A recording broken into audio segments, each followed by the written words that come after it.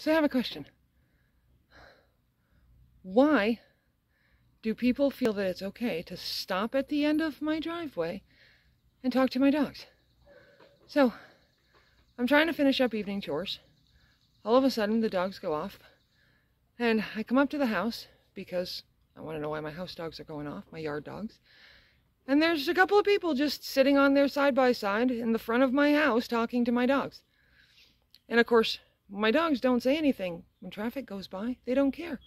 But when you get off of your side by side and you start engaging them, then they respond because now you are becoming a potential threat. But I don't come to your house and park in front of it and talk to your dogs and there's no farm animals there to look at. There's nothing but the dogs. So why is that okay? Because it's rude as fuck, in my opinion. You know? How about a little common courtesy? Is that your dog? No, it's a fucking elephant.